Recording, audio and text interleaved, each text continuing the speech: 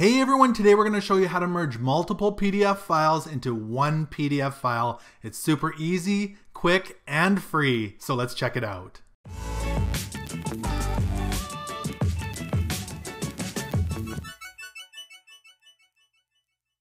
Hey everyone, it's Ken here from Northern Viking Everyday, and if you are new to this channel, it is all about reviews and how-tos, so make sure you click that subscribe button so you don't miss out on upcoming videos. Today I'm going to show you how to combine multiple PDFs into one. It's really quick, easy, and free, so let's get right into it. Let's switch over to my desktop here. And basically I've created three PDF files already that we're going to combine. The first one, page one with a ladybug. We've got page two with a bumblebee and page three with a worm on it. You can see them over here on the left hand side on my desktop. So those are the files we're going to be combining today.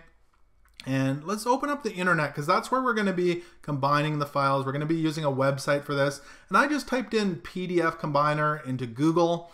And the first one that comes up is called combinepdf.com. This is the one I typically use to do this. There are several other websites that do this as well. Some do charge, but Combine PDF is free. So when we open up that website, this is what it looks like. And there's several different options here um, on this bar. And the one we're looking for is Combine PDF. It's already selected for me here.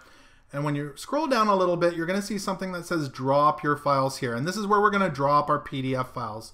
So we'll go ahead and drag those onto the website and just drop them in. Make sure you drop them in in the order that you want the PDF to be created.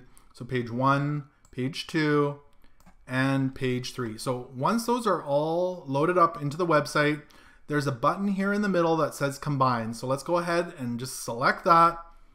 And look at that, it is creating a combined PDF for us. It automatically downloaded here in Chrome. I'm gonna just drag that to my desktop and let's open that one up and have a quick look. So here's the new combined PDF. It says page one, I can scroll down, page two, and page three. And it's all done. It's super simple to do. So I hope this video helped you out in combining your PDFs. Again, it's free and simple. And if it did, make sure to give this video a thumbs up. Also remember to subscribe to Northern Viking Everyday because I've got tons of videos coming up that I'd love to share with you. Thanks for watching today and take care.